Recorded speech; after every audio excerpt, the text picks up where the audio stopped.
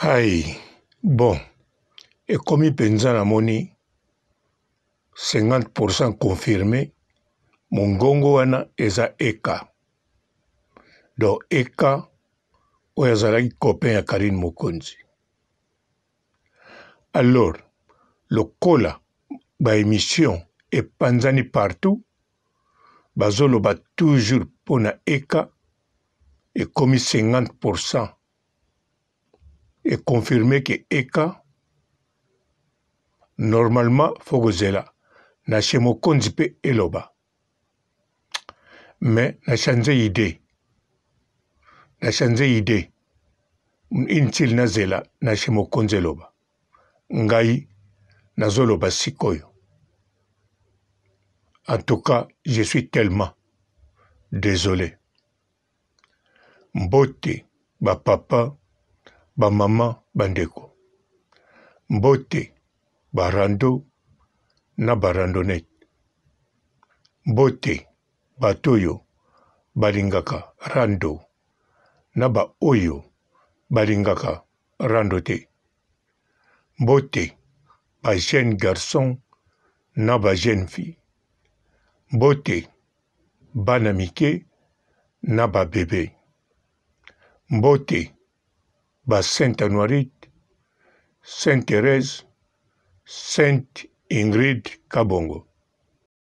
Bandeko ba bolingo,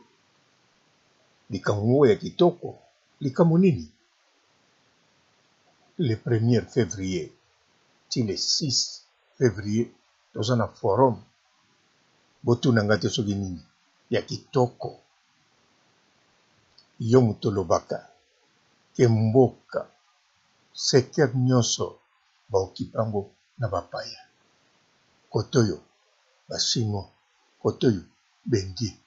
kote kuna ba pakistanais alors yaka na forum le premier fevrier ti le six fevrier 2022 kuna okoya na competence na yo okoya koloba po makambu na yo Ekokoma epai ya nani? Fatshi beton hum tala yo ozo loba papa robot olie yango olongoli masque mais yo pe yaka na competence na yo yaka koloba na forum le premier ti le six yo pe okolia en plus ba ndeko no tangu tokozua ba secteur wana bakoteka susu lopango te mais soki oyete ba paya bazua toujour na secteur wana ba ndeko no bakende buaka ngunda wapi na kanku po poto ekangami na decentralisation nous avons euh, passer en revue la cartographie du pays. Il y a plusieurs opportunités d'investissement dans notre pays, dans tous les coins du pays, dans nos entités territoriales décentralisées. Et à Genève, nous présenterons cela euh, aux, investisseurs, euh, aux investisseurs éventuels de, la diaspora du Congo et des amis du Congo qui seront nombreux Euh, à, à, ces, à ces grands rendez-vous. Et ces assises seront tenues en quelle période euh, exactement euh, C'est du 1er au 6 février 2022. En tout cas, compétence na yo ezali nécessaire pour na kotonga mboka. Fatih beton bango kuna baposa bitambe otamboli na bango oselumuki okwei Obukani moku ya lisoko. Bon, nakomi confirmer wana ezali EK 50 pour cent. Bon, mais nakoloba de toutes les façons. Makambo nazoloba, nazoloba 50 pour cent te, mais nazoloba 100 pour cent. Alors bandeko, eka ye wana azoloba soki eza ye akei alors akende malamu nayoki na mwa audio alobi bakofinga ye soki eza eka namoni ntina tokofinga ye te namoni mpe ntina Carine akofinga ye te so bakabwani loba asala likambo mosusu me soki asali likambo moko te bakofinge pourkui nayebi te pourkui aza na baide wana ou bien azobomba likambo mosusu ya mabe asalisali yango azobanga mpo Carine aloba bien toyebi bien Carine na kanisa parmi ba mibali oyo azwa oyo tomona na internet mobali ya liboso oyo nga nayoki na matoyi na nga Carine alobi awa tolingani toza copain tozotala soki okende bien ekei soki okende mabe ekatani alors Carine alingi mutu sika ayebisi biso deja ekoki okatana nango siko pourkui tokofinga ye eh bandeko mpo bato ebele bazozela mpe tofinga ye bakanisi yango eza coutume une fois n'est pas coutume d'avance karine akofingela moto bakabwani mpo na nini soki afingi likambo ezali karine afingaka te mpo bokabwani karine afingaka te mpo aboyi yo to boyi ye non karine afingaka soki likambo mosusu ezali oprovoke na likambo mosusu wana akoswanisa yo comme ex te akoswanisa yo to akoloba na yo comme mpe mutu bokabwanaki te mais comme mutu nyonso aluki ye problème ndenge wana te ntango karine alobelaka bana mibali oyo baluki ye problème to bana mibali esengeli alobela bango abima na bango rien yango wana namoni ntina akoloba na mama mwana ne te oyo afingaki deja ye mpe afingaka ye sikoyo aloba karine akende finga ye estce ntango azalaki na couple na karine karine aza kopase ta na ye na kofinga ye non me oyo baboti ne mwana apasaka temps na kofinga ye eza na bodio ezolobama ye pe alobi ekp afingaka ye bango nde mutu baza bato ya mafinga carine aza kote kuna te na moto oyo bakaboli bolingo alor sikoyo likambo mosusu eka soko akei nandimi te ekoderange la chine parce que nasala mpe émission kala mingi te eza wana na site naloba na eka na chine bato ebele bakipaka na bango yo te basepelaka na bango na yo te oyo balobaka ke basepelaka na yo, parmi bango mingi basalaka semblant. Naloba na ye, seko ba chinois soki EK akeyi ekosala la Chine nini? Eh bandeko tosolola ko. soki eka akangi bisaka na ye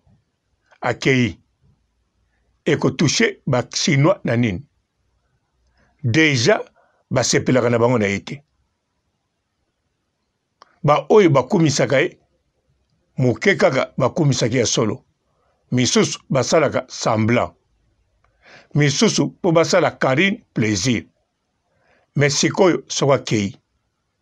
ekotouche nani na la chine ata bino moko nayebi te pourquoi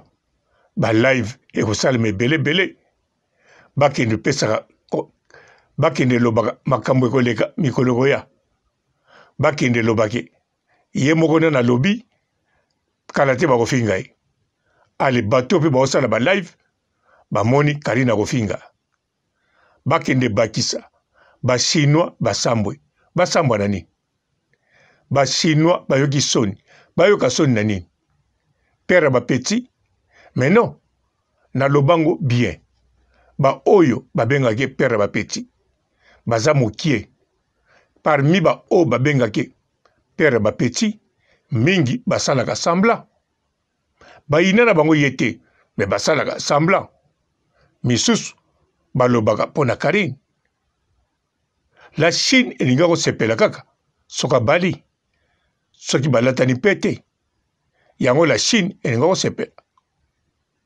soki mpe basepela mpo na fiançai ezalaki mpo na eka te ezalaki mpo na karine me basepelaki mpe kaka moke ba chinois ya Karine baza ndenge bolobi baza bazoba te oui ba chinois baza bazoba te makambo mingi basalaka mpo na Karine mpo na bato oyo bayaka na couple na Karine te bato oyo bayaka na ba chinois etali bango nini ba chinois balobaka mpo na kosala Karine plaisir likambo mosusu bozoloba karine so bolingaka ye bopese conseil bolakise ndenge akozala sikoyo ndenge akotete amema boye me bino boza ndenge nini nazoloba na bino sikoyo bazozo d'avance bozo reconnaitre ba kombo na bino que boza ba zozo kote kuna nasengi bino merci en tout cas merci de tout mon cœur ndenge bozo yeba boza ba zozo alors nabengi bino ba zozo ba zozo tobengi bino bananie ba zozo tobengi bino bananie ba zozo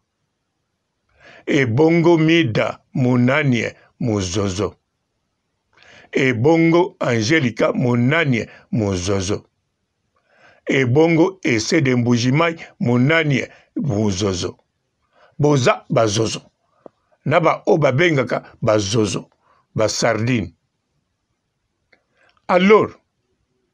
bino ndenge boza wana karine bokopesa conseil na bolingo na ye non karine avivraka bolingo na ye ndenge amoni karine soki bino bozomona azosala erreur karine asala erreur te mama betine masikini ti ntango abotamaki ti akufa asala mpe erreur te na bolingo na ye Pongo Love banda botama ti akufa asala mpe erreur te azala meme mwasi ya mwana président en plus président ya pambapamba te roi d'afrique alors bolingi boloba nini karine aosala erreur non karine azosala erreur te azovivre basentiment na ye soki bolingi topesa karine mokonzi conseil liboso bino moko moko abenga nga ayebisa nga vie na ye ya couple na ndenge azalaka na mobali na ye nabongisa bafoti eza kuna soki napesi yo conseil nakoma olandela bolingo no kaka panda un mois wana nakepesa karine conseil mais nga na yebi Carine Mokonzi azala na bonne direction azala na mauvaise direction aza na droit aza na droit amema bolingo ndenge ya moneli nakanisa bozoka bien no Karine aluka elongi ya Nzambe. Karine asambelaka. Karine ayebi ndenge alukaka elongi ya Nzambe. Bino nayebi te soki boza na Nzambe mosusu bobomba na bandako na bino ya bikeko. Seko Karine asala kokole elombe aluka Nzambe wana obie ndenge nini? Bolingi ndenge nini? boloba ko boloba mais non bozokamwisa bato boloba karine azovivre bolingo na ye ndenge ezali bolobi baaudio ezali bavideo eza bakotya karine azolela mais de rien du tout so batie karine azolela eza nini parti ya bolingo bongo te soki batie karine mutakala tozomona deja baimage mosusu te eza parti ya bolingo na vie ya bastar eske ntango bokotaka na ba kote bokotaka wana na internet baoyo batiaka babiloko wana ba bakarini soki bokei na bafi oyo ya grèce bango tu bapesaki mwana moko ya mobali oyo tolandaki na bemission awa banzoto na bango eske baza bakarini non karine aza na vie na ye mutu na mutu aza na vie na ye karine azomema vie na ye kitoko soki aleli eza amour karine yo mpe soki ozwi mobali olingi kokumisa ye olingi koloba boye eh? ezali modele amemaka amour na ye moto akopesa Carine conseil baza na bango me nga papa robo bozela te napese conseil ya Carine ayebi bien soki alingi azala siko na mobali mariage esalama na mars Carine ayebi ndenge akosala ayebi bakandida mpe bazali kandi Carine ayebi Carine ayebi soki alingi azwa mobali akabelaka ye chaque mois 3000 euros akozwa bakandida mpe bazali mpe bino bazozo boyebi très bien Carine aza na bakandida ebele bazosopana kutu otondisi na tono tono esopani me karine alingaka amema bolingo na ye ndenge ye alingi abima na mobali oyo ye amoni ye nde aprefere abima na ye boloba teke karine bazwi ye na facilite mwana mobali oyo afinga aye kosala revanche non nani alobi na bino bongo nani akosi bino bongo en tout cas iboyoka nga bien karine ko karine kaka oyo bozomona ye atimba koleka bino Carine po abima na EK ayebi bien. Ayebi ke tango tozo bima pa na ye eza deja revanche po na lobela ye mabe. Carine ayebi. Mais Carine ayebi naza na posa na bima na ye.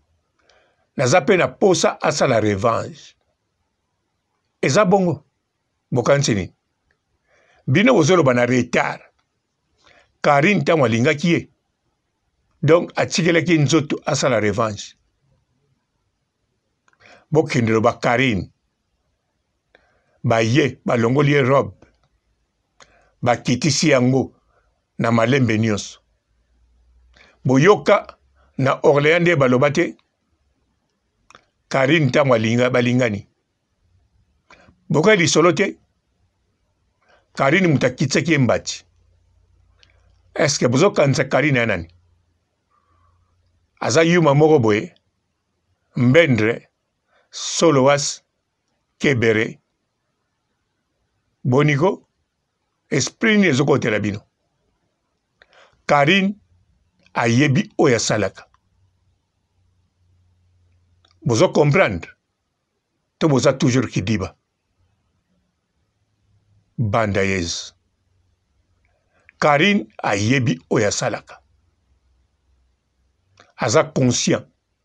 karine akoki edike bino bovandi mpe bien na mibali na bino karine akoki edike bino lobi mpe obali karine akoki edike yo mobali no mpe akimaki ndako azongi soki ye avivraka vi wana ye moko alingi ye moko asepeli nango bocomprendre eh? nazoloba na bino bazozo bolobi nini matière bamama tiere bozwa ti turo bokotya combien mida olobi nini 7000 6000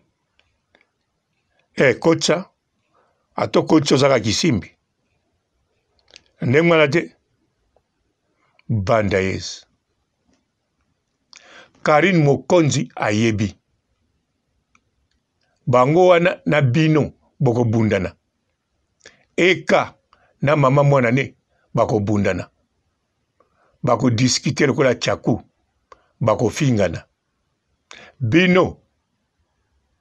bokosala ba live ba matière bolongola ba souci na bino ya ba malelisa boza na mibali moko oyo ya soni mpo na kolakisa soki olakisi oza na soni mpo oloba souffrance na misère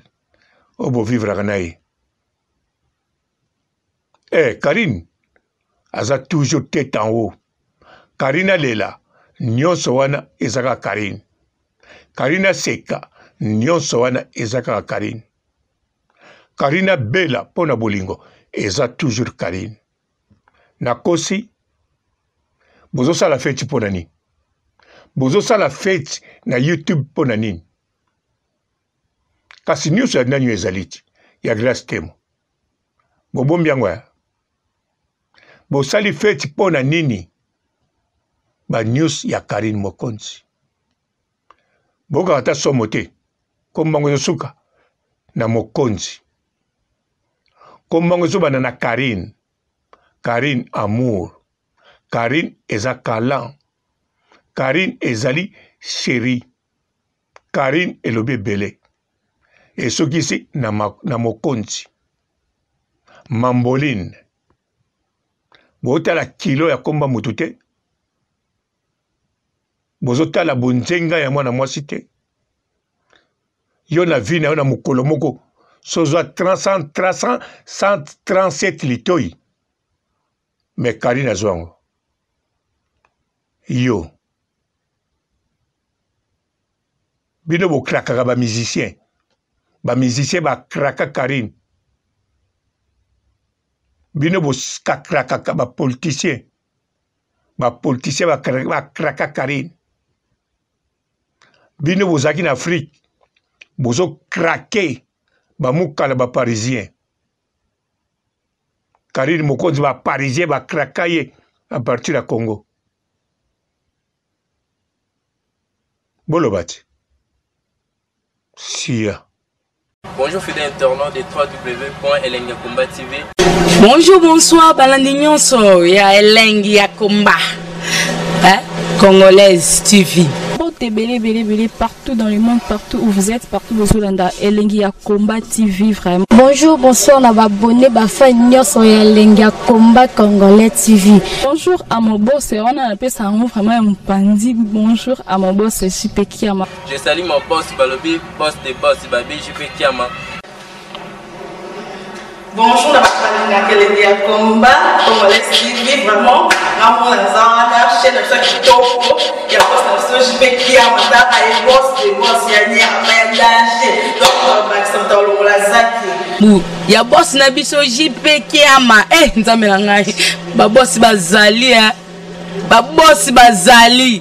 Hey, eh, JP Kiama, le boss des boss. napesi d'abord bonjour toyeba ya mbote ebele na mabosi jp kiama wana nakozangisa yo te donc nakoki koleka te sana napesa mabosi jp kiama boss de boss Bonjour fidèle internaute de www.elengiakomba TV. Bonjour, bonsoir, balandi nyonso ya elengi ya combat. hein? Congolaise TV. Bote belé belé belé partout dans le monde, partout où vous êtes, partout bozolanda Elengi ya Combat TV vraiment. Bonjour, bonsoir na abonné ba fan nyonso ya Elengi ya Combat Congolais TV. Bonjour à mon boss, on a appelé ça en vraiment un pandi. Bonjour à mon boss JP Kiama. Je salue mon boss Balobi, boss des boss Babi JP Kiama.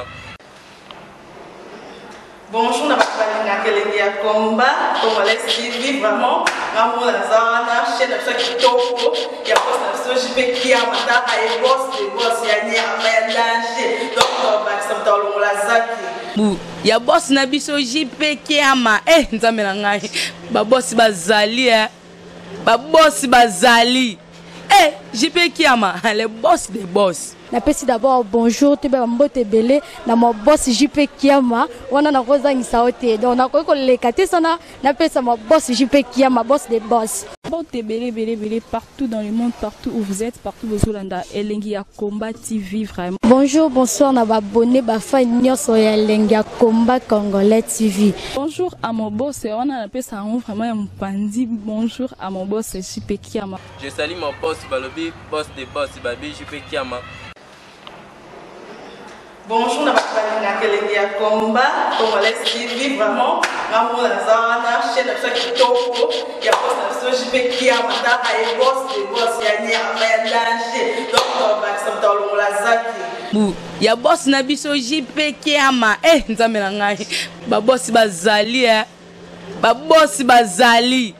Eh, JP Kiama, le boss des boss. napesi d'abord bonjour toyeba bambote ebele na mabosi jp kiama wana nakozangisa yo te donc nakoki koleka te sana napesa mabosi jp kiama boss de boss